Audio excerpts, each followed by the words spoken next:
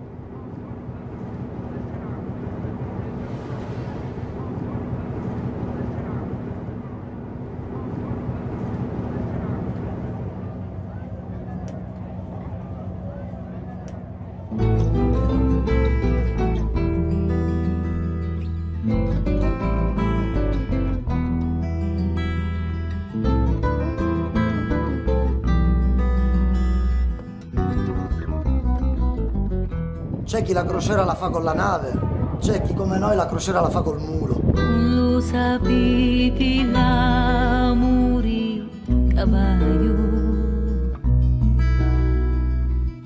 lo sapete quanto vi disio.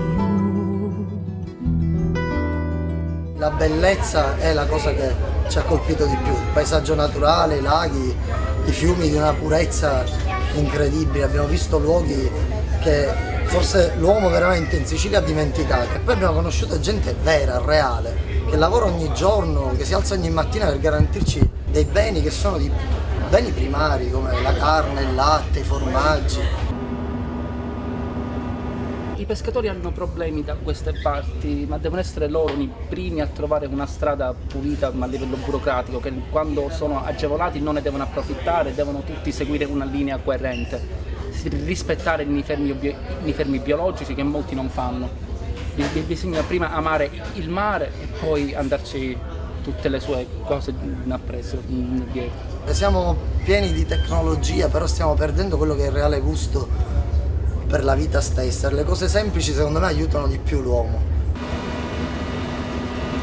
Ci siamo accorti anche che le persone più semplici sono quelle che ci hanno aiutato di più, sinceramente.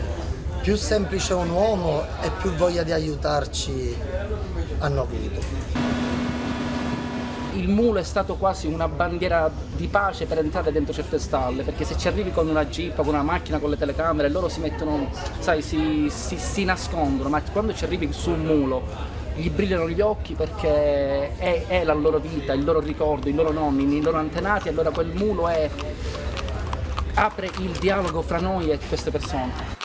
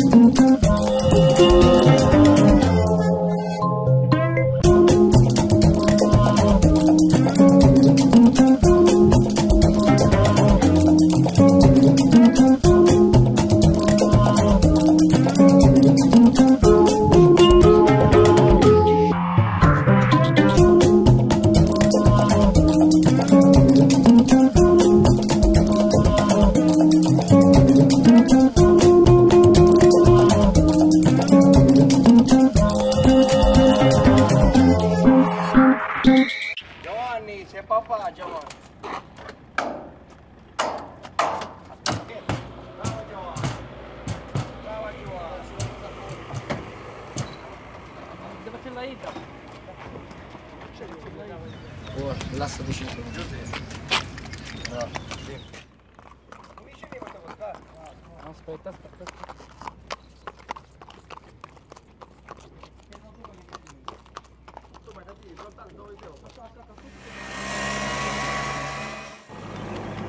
Perché ci tengo eh? Oh, a tutto, grazie. quello che abbiamo parlato.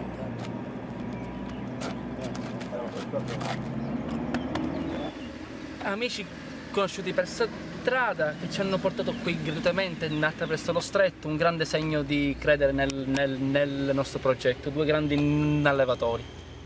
Due grandi persone, due grandi amici, veramente. Oh, ci sentiamo, oh, qualsiasi cosa chiamate, eh. Al Quirinale. Ciao. Le metteremo tutti i giorni. Oh, salutatemi a casa le famiglie, eh. Grazie. Salutatemi a casa la La famiglia. famiglia a tutti ragazzi.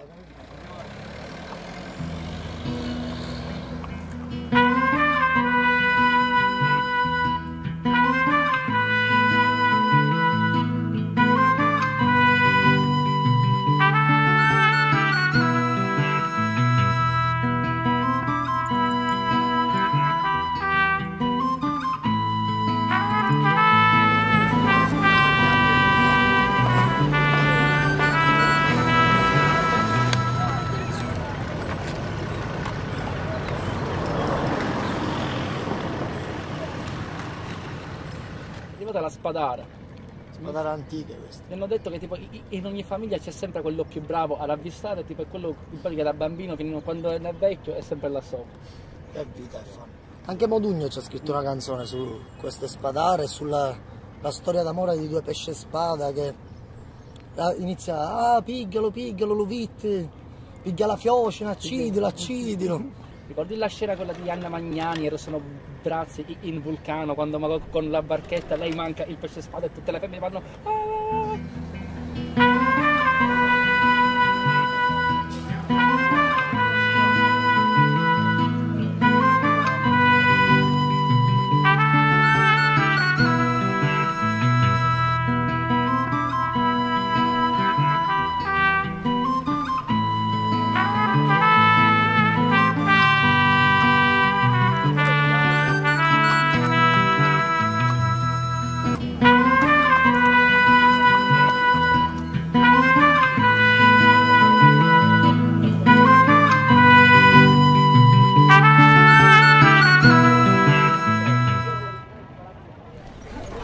Questo qua è il mestiere della fame. I bianchetti ne possiamo pescare, i tonnetti non si possono pescare, i tonni grossi non si, Non si possono, possono pescare. pescare. I giapponesi poi possono Sì, pescare. i giapponesi, gli spagnoli possono Non pescare, noi italiani non possiamo pescare niente.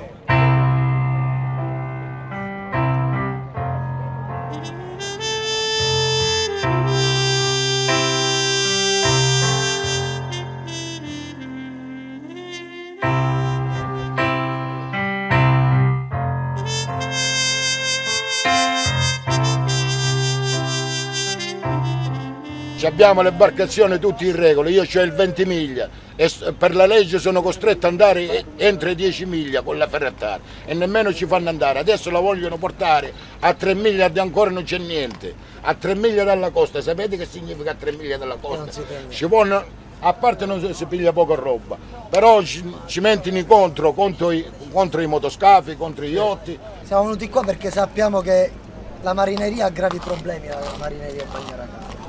Il mare è pieno di pesce azzurro, tonno, pesci spada alla lunga e con queste leggi che non ci permettono di poter andare con le, con le attrezzature specifiche per poterli pescare, siamo costretti a fare la panca.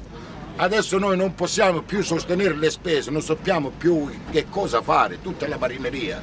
Era meglio la spadara e non il conso con l'amo. Il conso distrugge, la tartaruga prende tutto il conso. Volevano rimpopolare il mare come dicono loro. Togliete le palazzi. Il nostro governo non ci può paragonare a un paese del nord Certo. perché no- il nostro paese ha mille capitanerie e i paesi del nord hanno una capitaneria. Nel nostro paese ci sono milioni e milioni di ombrelloni e loro non ce n'hanno neanche uno. Allora i problemi della pesca li sappiamo noi. I tonni li stanno distruggendo. Li prendono, se ci riescono li vendono, se trovano quello che non ha paura, sotto sotto, senza fatture, senza niente, c'è quello che li smercia e c'è quello che non, non è capace a smerciare. Il tonno lo distruggono con questo mestiere qua.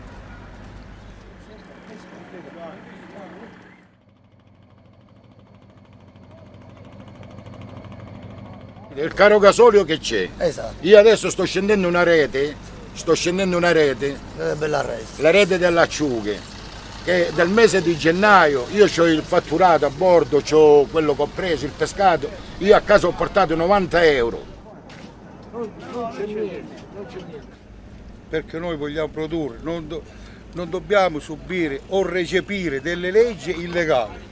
Così com'è la comunità europea al sud manda leggi illegali ed è rappresentata esclusivamente con la divisa la comunità europea qua, al sud. Bruxelles, se io vado con la spadara non sa niente. Loro la spadara non la dovevano toccare. Se, se veramente dicono che era distruttibile, c'è un mestiere che è distruttibile, che distrugge tutto, tutta la fauna marina, che loro lo sanno, che è la pesca a strascico. Io ho chiesto anche tramite i giornali un incontro con gli ambientalisti proprio per spiegare i problemi del mare. L'ambiente, ce lo dico io che sono a mare, a mare non possiamo più tenere il motore a moto perché è caricato di plastica, di buste, di nylon, di tutto. Io andavo a mare con mio padre, ero un ragazzino, e però sempre la giornata si riusciva a prendere. Prendevate i merluzzi, qualsiasi pesce. Però eh, quando andando a pesca così, il mare era sempre impopolato di pesci. Da quando hanno sperimentato tutte queste paranze qua, ma non a livello qua solo di bagnare, a livello per tutta, le- per tutta l'Italia. Quella sì, hanno rovinato il mare. Le barche ancora dovevano andare a mare e loro ci hanno tolto anche la pesca accidentale del tonno, 270 kg. E il dilettante lo può prendere uno al giorno da 90 kg, il pescatore no, perché sono tutti contro i pescatori. E con questo io ho finito.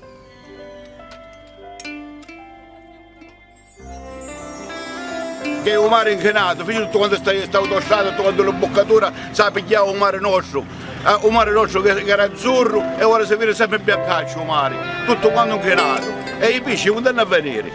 Se, se voi ammazzate lo stesso lo mare, quando inquinazione cala a mare, a boccare poi dopo io dicevo a te, quando pigliamo a giornata, o meglio, o meglio pesce lo mare non cacciare, un pesce spado, un pesce spado facciamo sempre a una vita, che lavoriamo. Io prima di 63 anni, 63 anni alla gioia la barca mia figlia non può noi, c'è solo un conso di pesce spati. E manco sappiamo usare un pesce sta partendo anno per anno. Perché lo pigliamo in tuo fondo, lo pigliamo, a 500 passare acqua, a 500 metri d'acqua, a 700 metri d'acqua, un pesce non fu mai toccato, un mazzavolo la passarella, eh, ma, ma noi la fanno trattare, non la pesce spatare, lo pigliamo. A, 5, a 15 metri d'acqua. E ora è pigliato, un pesce spato proprio, è pigliato a 700 metri d'acqua, proprio che era che dormiva come i nostri vecchi.